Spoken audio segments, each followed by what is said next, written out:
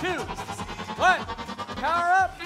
Semifinal one, match number one on Carver here in Houston, Texas. 29-10 with that awesome swerve drive in the Red Lions. They place a cube up there in auto. Their Lions partner, 4911 Cyber Knights, getting ready to place a cube. Ladies and gentlemen, we have a one, two, five cubes played on the scale in auto. That's incredible, ladies and gentlemen. For the Red Lions, they get three up there. They own the scale. The match is tied right now as the teams grab control of their robots. Red Lions takes all of their teams and gets in an offensive position. 44.99 placing cubes into their own switch.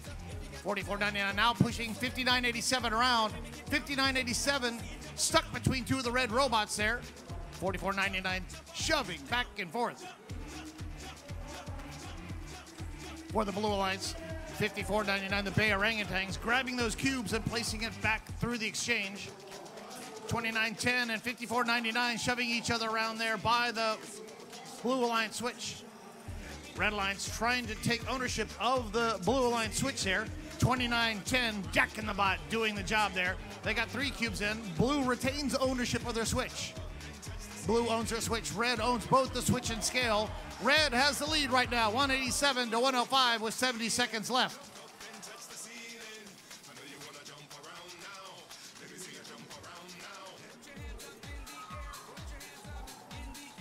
The battle for the Blue Alliance switch continues. 29-10 grabs the cube, they throw it in. Blue Alliance loses ownership of their switch temporarily. With 49 seconds left, Red Alliance has the lead 242 to 118.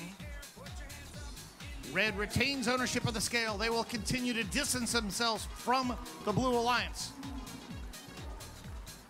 Neither alliance has played a single cube into their vault. Red Alliance now puts three into the levitate position and does a levitate power up. Two robots ready to climb for the Red Alliance. 49 11's up. Cyber Knights.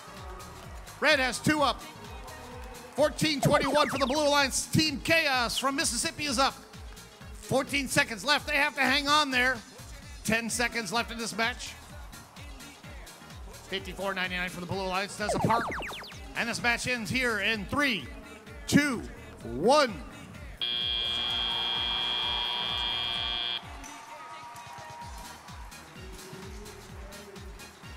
In our semifinals.